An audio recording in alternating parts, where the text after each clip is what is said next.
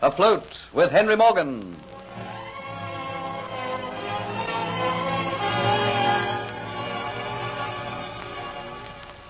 The buccaneer, Henry Morgan, tells Jeffrey Hunter the full details of the raid he intends making on the coast of Nicaragua. Neither Morgan or Jeffrey have the slightest suspicion that the girl, Antoinette de Lacy, with whom Jeffrey has fallen in love, is really the Spanish girl, Dolores Pizarro, who is determined to take from Morgan the Aztec necklet and destroy him. Encouraging Jeffrey's love, she learns the details of Morgan's plans, and, aided by Dietz, she hopes to soon regain the necklet. Kitty, the tavern wench, has fallen in love with Jeffrey, much to the jealousy of Dietz, who hides with her one night in the garden of Government House, where she sees Jeffrey making love to Dolores. Immediately, her love turns to hate. You thought I'd tell you lies, eh, Kitty? I, I can hardly believe it. I, I can hardly speak. So he thinks to make a fool out of me, does he? He thinks because I'm Kitty the servant wench, I'm without feelings. He thinks I'm like a glove. When the fingers are through, I can be thrown to one side. Ah, you will soon forget him. I shall see that. I have been patient. I not worried you because I knew that soon you would find out that this hunter man is no good. And now I'm not going to be patient any longer. It's not been easy to see you and not take you in my arms and crush the very life from you. Oh, Kitty, soon the world will be just yours and mine. Take your filthy hands from off me. Ah, Kitty, what is this? Is this your gratitude? Because Hunter has spurned me, you needn't think I'm going to fall into your arms, Dietz. I think no better of you now than I did at the time when I told you I wanted nothing more to do with you.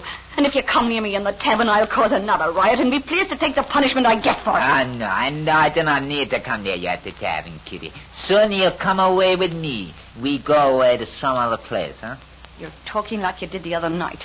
I'm not going to stay and listen to you. I, I don't believe there could be anything you could do.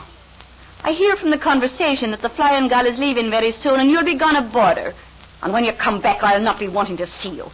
And now I'm returning to the tavern. There's work to be done, and it's time I was doing it.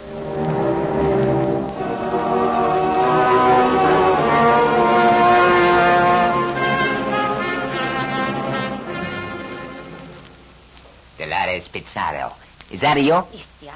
But how many times have I told you not to use that name? You have been a long time coming out to meet me. I've been waiting here in the garden ever since you returned to the house of Jeffrey Hunter.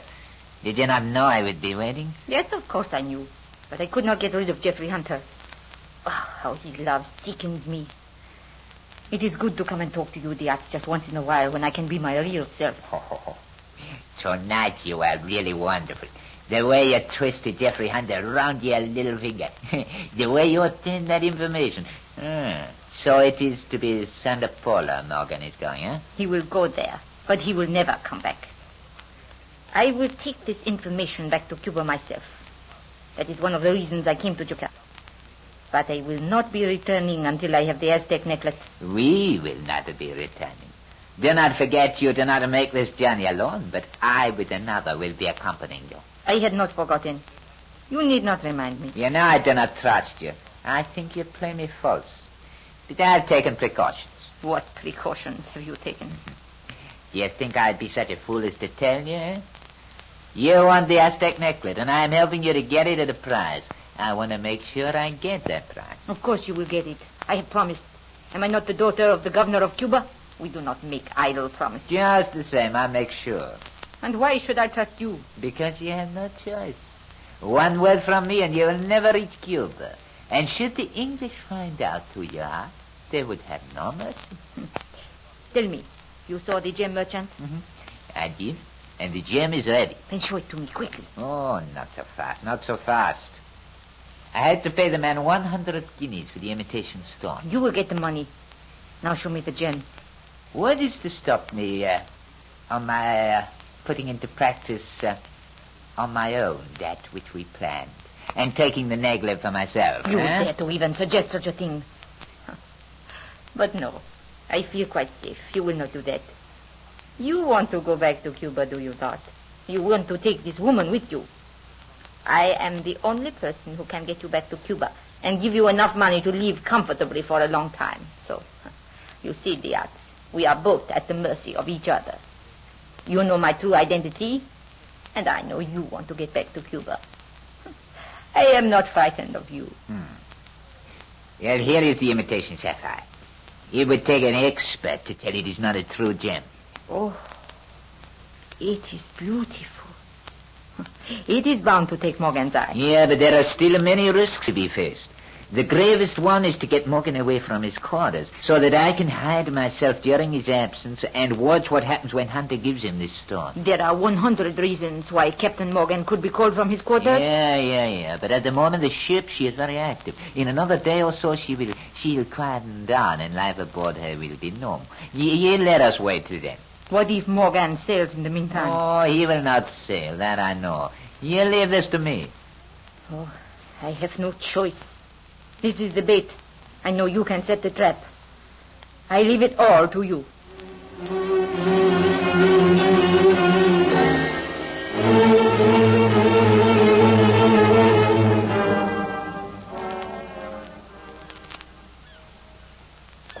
Come and sit down here in the shade, Hunter. You've been working like a slave all morning. The rest will do you good. Oh, it's hot. I'm wringing wet. Yeah, take it a bit easier, lad. You're not used to this sort of work. It'll knock you out. What a beautiful sight it is, looking from here across the bay. It's marred just by one thing. The convict hulk over there with all its human cargo? Yes. They've been coming off that ship all day. Poor devils. Uh, do not waste so much pity on them, lad. The ones who are really unhappy will not live long, and the others might find some contentment. Who knows? That's a careless way of looking at it. What happens to those people when they land? Well, most of them have their masters to go to. They're taken in charge as soon as they land. Oh, do not pull such a long face, Hunter.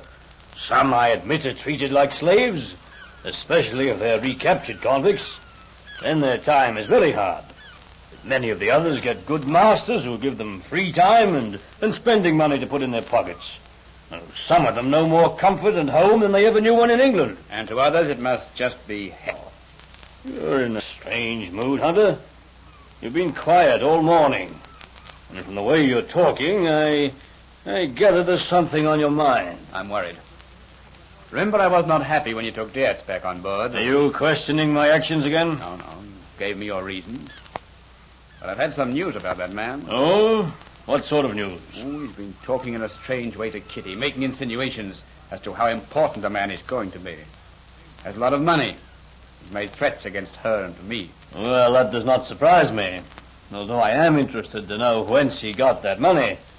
He's full of idle boasting. I, I don't think there's much mischief that he could get up to that could harm you, Hunter. He even suggested to Kitty that the Flying Gull would be sailing without him. Well, if we do, we do. Then I'd catch him when we got back. Was that all Kitty had to say about him?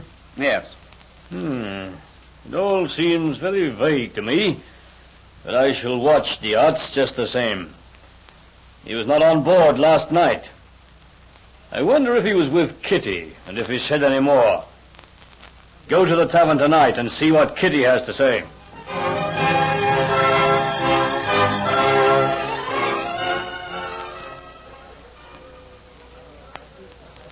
Lady, will you bring a thirsty gentleman a glass of rum? Jeffrey, I did not expect to see you so soon. Why not? Oh, I just thought perhaps the Dolphin Tavern was no longer to your taste. You've been listening to your friend Dietz again? Jeffrey Hunter, I don't want to start a row here. But men in this tavern have very uncertain tempers. And when two people start quarreling, there's no knowing where it will end. I don't understand what you're saying, Kitty. Don't you? Have you never hated anyone, Jeffrey? So much that you'd like to see them dead. I'm just surprised that I can keep my voice so low and be so quiet about it. Kitty, you must tell me why you've changed like this. Tell me, how is it you can keep yourself away from her, from her arms? Did you find her lips softer than mine, her hair more perfumed? Has she taken your heart completely? So you've learned about Antoinette. Learned about her? Did you not practically go from my arms into hers and fill her with soft words and, and let me believe that I was not giving in vain? Kitty, please, you must be fair. I have told you time and time again that I was not in love with you. I was grateful to you, but not in love with you. Did I not warn you that my love had turned to hate if I found that you played me false? And you just have no idea to what depths my wrath can go. You'll pay for this somehow, in some way, Hunter. I'll hit back at you, and when I hit, I'll see you smashed. You may not think a serving wench, a bond servant, a slave, would have the chance of hitting back at a fine man like you. But the fates will be kind to me and give me the chance to hit back at you. I hate you, Jeffrey Hunter. I hate you. I hate you. Well, well, well. I wondered if I'd catch up with you in Jamaica, Hunter, and I'd find you here so soon after I arrive. How things been going with you over here? A little bit different than in England, eh? Well, come on. You don't mean to tell me you've forgotten me. Me, Clegg. You're making a mistake. I don't know you at all. Oh, that's rich, that is. Hope you've struck it lucky like I have. Good master. First night he gives me the night off. So I come here to the Dolphin Tavern, and the first person I meet is you, Hunter. You're making a mistake. I have never seen you before in my life. Excuse me, please. Good night, Kitty. I will try to see you again before we sail. Well, what do you know about that? Cutting me dead. Who does he think he is? He's just the same as me, a convict. Wait a minute. What is that you're saying? That chap's name is Hunter, isn't it? It is at that? And he cut me dead. I knew him in England before he sent out here on the convict ship. Well, would you believe it? So the fates have been kind to me already. Sent out here as a convict. You know, Mr. Clegg, what happens to escaped convicts in this colony? When they're caught, they're sent into the swamps with the heat, the fever, with the reptiles. And they work there until they drop. You must tell me more about the escaped convict, Jeffrey Hunter.